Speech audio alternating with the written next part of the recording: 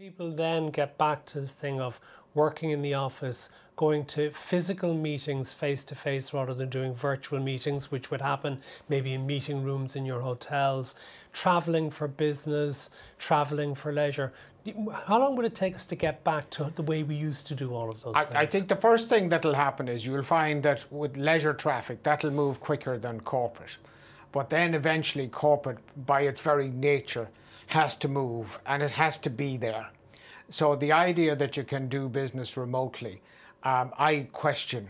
Um, I think that that what will happen is people will get back, and, and you, you need this sense of collaboration as well.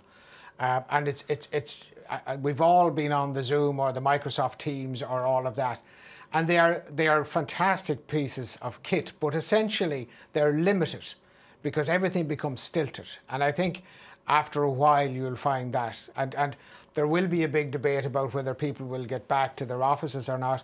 My own view is, is that that's beginning to wane somewhat.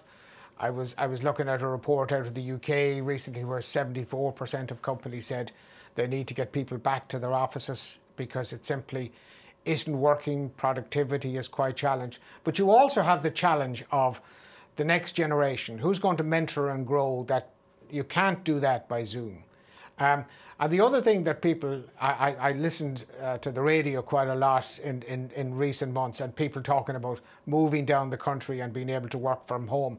And that's fine for lots of people, but for lots of people it won't be because if you're ambitious and you're out of sight and you're out of mind, suddenly the opportunities won't be there for you. So I think people need to think very carefully about how life might shape up for them in the coming years. It won't be like the way we've had it. It'll be probably more of a hybrid system. But but certainly the the the death of the office is greatly exaggerated.